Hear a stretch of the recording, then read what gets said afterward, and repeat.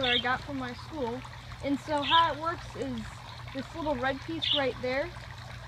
This, uh, it's full of a, probably an alcohol-based liquid that expands um, when temperatures get warm. So what happens is, as the temperature builds, the red chemical in here will start to get bigger and it has no place to go. So what it does is it breaks this glass, allowing a little uh, piece right up here called the pip to fall down and fall out of the sprinkler.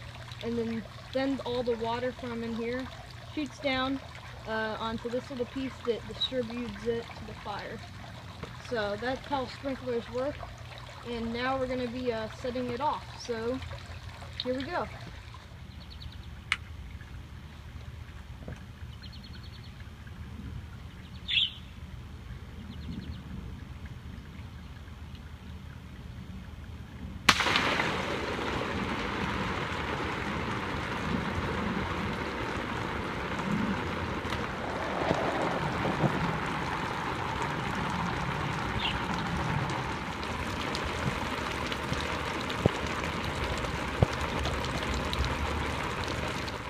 And so yeah, I think that was pretty cool. Now let's watch this in slow motion.